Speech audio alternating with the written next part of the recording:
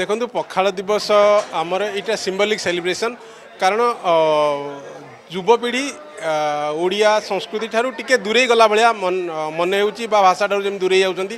କିନ୍ତୁ ପଖାଳ ଦିବସଟାକୁ ସେମାନେ ବହୁତ ନିବିଡ଼ ଭାବେ ଗ୍ରହଣ କରିଛନ୍ତି। ସେମାନେ ତାଙ୍କର ସୋସିଆଲ ମିଡ଼ିଆ ଠାରୁ ଆରମ୍ଭ କରି ତାଙ୍କର ଯଦି ଆମେ ତାଙ୍କ ପ୍ରୋଫାଇଲ୍ ଚେକ୍ କରିବା ତାହେଲେ ସେ ଓଡ଼ିଆ ଭାଷାକୁ ଗ୍ରହଣ କରନ୍ତୁ ନ କରନ୍ତୁ ପଖାଳ ଦିବସଟାକୁ ଗ୍ରହଣ କରୁଛନ୍ତି। ତେଣୁକରି ବର୍ତ୍ତମାନ ସମୟରେ ଆମ ଆଗାମୀ ପିଢ଼ିକୁ ବାନ୍ଧିବାକୁ ହେଲେ ଏଇଭଳି ବିଭିନ୍ନ କାର୍ଯ୍ୟକ୍ରମ କରିବାକୁ ପଡ଼ିବ ଏବଂ ଆମେ ବର୍ତ୍ତମାନ ପିଢ଼ିର ଯେଉଁ ଆମେ ରହୁଛେ ସେମାନେ ତାଙ୍କ ଡିମାଣ୍ଡଟାକୁ ବୁଝିବାକୁ ପଡ଼ିବ। ତେଣୁକରି ପଖାଳର ଯେଉଁ ଆବଶ୍ୟକତା ବା ଆମର ଯେଉଁ ପରମ୍ପରା ଏଇଟା ଏବେର ନୁହେଁ ବହୁତ ପୁରୁଣା। ପ୍ରଭୁ ଜଗନ୍ନାଥଙ୍କ ପାଖରେ ସେଟା ରହିଛି। ସେ ସିଏ ବି ପଖାଳ ସେବନ କରନ୍ତି ଏବଂ ସାଧାରଣ ରଙ୍କଠାରୁ ଏବଂ ମହାରାଜ ପର୍ଯ୍ୟନ୍ତ ସମସ୍ତଙ୍କର ଏଇଟା ପ୍ରିୟ ଖାଦ୍ୟ। ତେଣୁକରି ଆମେ ଦିଲ୍ଲୀରେ ଦୁଇ ହଜାର ବାର ମସିହାରୁ ପାଳନ କରି ଆସୁଛୁ।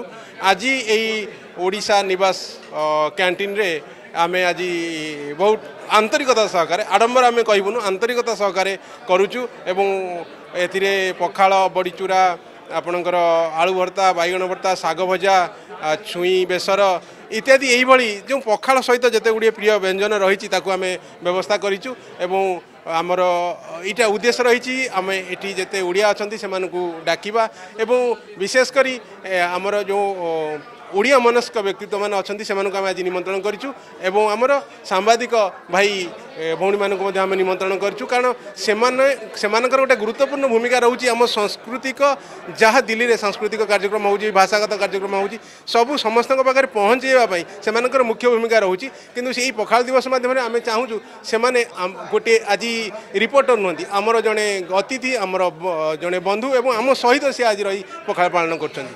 ମୁଁ ଆଜ୍ଞା ବିଦେଶ ସେବାର ପଚାଶ ବର୍ଷ ହେଲାଣି ଓଡ଼ିଶା କ'ଣ ଭାରତ ବାହାରେ ରହୁଛି?